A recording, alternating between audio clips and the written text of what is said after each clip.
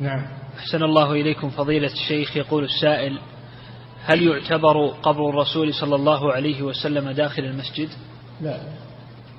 الرسول صلى الله عليه وسلم مدفون في حجرته. والمسجد مبني مسجد الرسول مبني قبل وفاته بعشر سنين.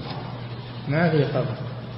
لكن لما وسع المسجد في عهد الوليد بن عبد الملك أمر بإدخال القبر إدخال الحجرة أو إدخال القبر. أمر بإدخال الحجرة فيه فأدخلت بغير رضا العلماء في وقته. فقبر الرسول في حجرته وفي خارج المسجد والمسجد مبني قبل موت الرسول صلى الله عليه وسلم بعشر سنين ولا علاقة للقبر بالمسجد. نعم.